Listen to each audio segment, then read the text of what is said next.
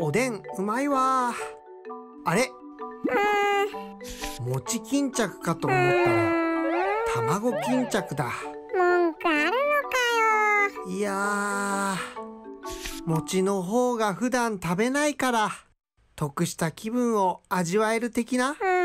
あと餅の方が人気だし勝ち組的な？中身のないやつほど細かいことにこだわるおでんなのに冷ややか。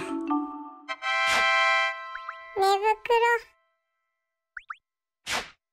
チャンネル登録をしてね。そんな物好きい